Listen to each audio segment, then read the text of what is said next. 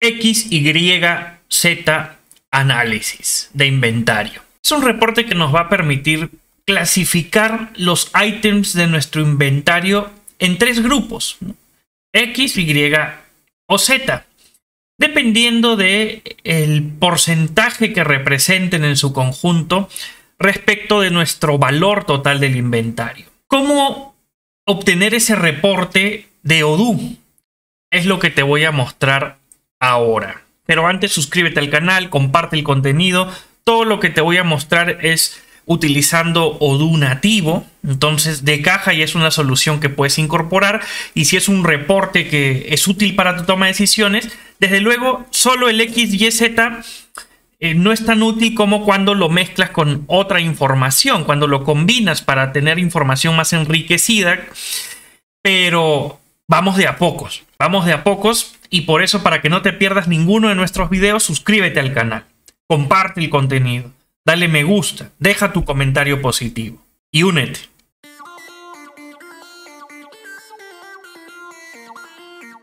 Aquí tenemos el reporte que hicimos en un video anterior, que obtuvimos nuestra rotación de inventario.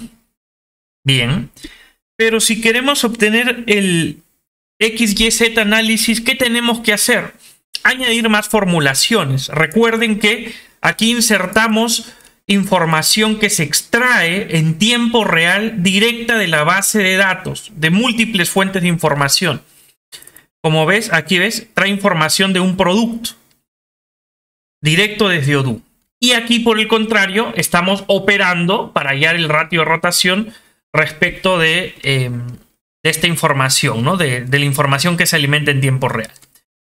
Para el análisis XYZ, yo voy a añadir algo que se llama el porcentaje que tiene eh, cada producto o cada variante respecto del valor total de mi inventario. ¿Qué más? Vamos a añadir un acumulativo también. Y finalmente una clasificación. Esa clasificación va a ser X, Y o Z, ¿no? Dependiendo del porcentaje. Pero de momento, eh, vayamos por partes. ¿Cómo obtengo el valor total de mi inventario? Alguno podría decir fácil, Fernando, sumas esto. Sí, pero acostumbrémonos a trabajar con la información que Odoo ya calculó. ¿Dónde tenemos esa información? Aquí mira, este es el valor total de mi inventario. Y claro, ya en esta celda tengo el valor y yo podría irme, ¿no?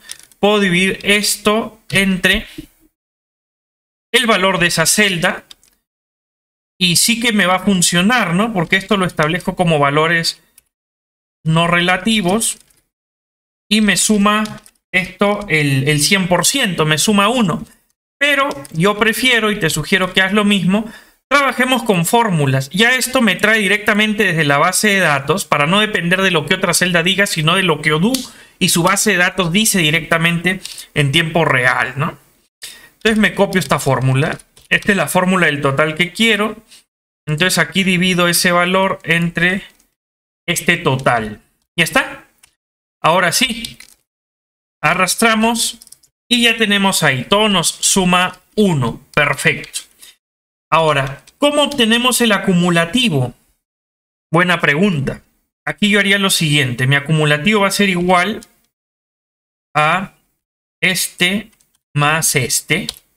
Pero me sale error. ¿Qué hacemos? Ya sé, miren. Todo es cuestión de aplicar el conocimiento que ustedes ya tienen de formulación. Seguramente vienen trabajando en Excel, hojas de cálculo. Esto les es muy familiar, ¿no? Usen ese ese conocimiento y exploten al máximo la fórmula de sí error, ¿no? Ustedes que saben mejor Excel que yo, lo van a poder hacer mejor. Si esto más esto sale error, quiero que me arroje esto. A ver. Epa. Eso es. al final me suma 100%, 1. Y luego, ¿cómo los clasifico?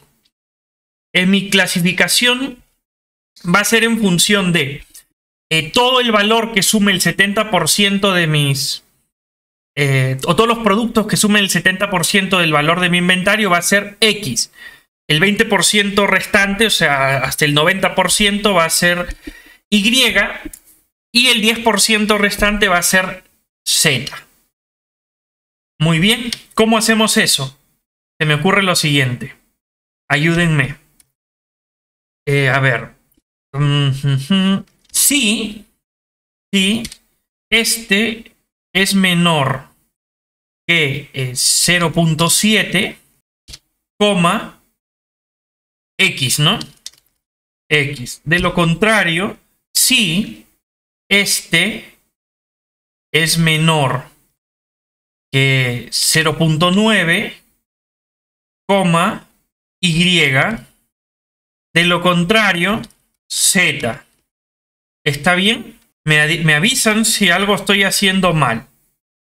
Y del X se pasa al Z porque no hay Y, básicamente. ¿no? O sea, estos ya hacen toda la diferencia. Bien.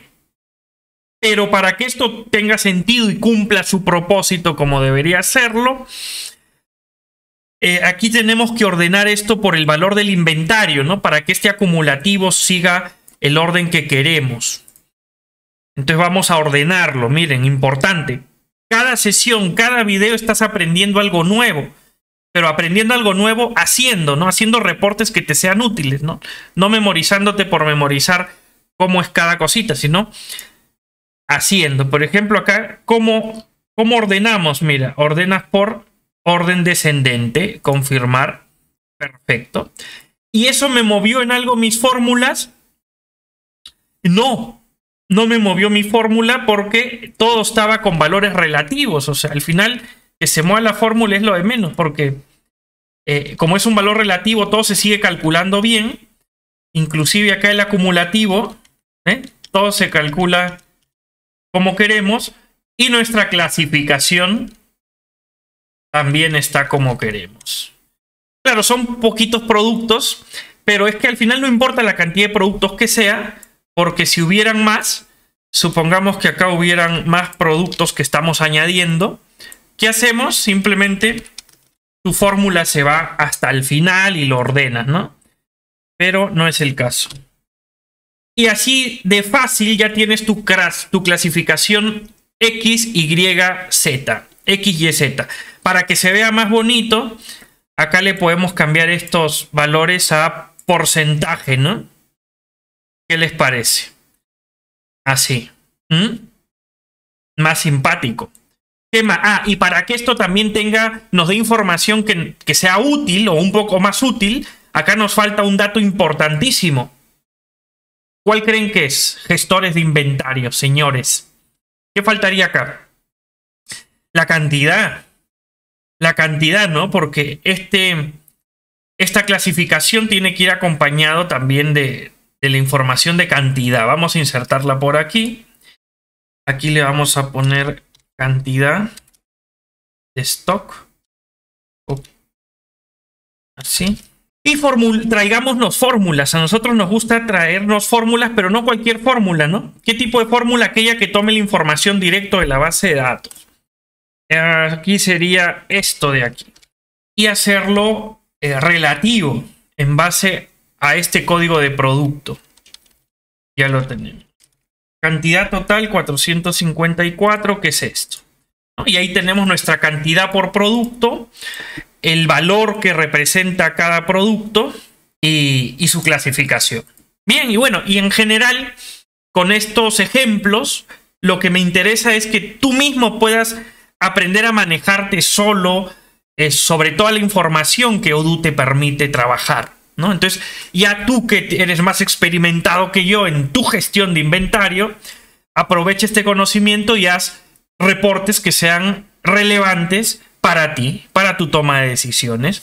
Esto lo, ya está guardado, ¿no? En tiempo real, Odoo lo va guardando y ya tienes tu reporte de rotación de inventario que eh, se actualice en tiempo real, porque recuerda, todo es desde la fuente de datos del mismo Odoo y se va actualizando en tiempo real. Y cuando quieras entras a ver y ya tienes tu, clasificación de producto.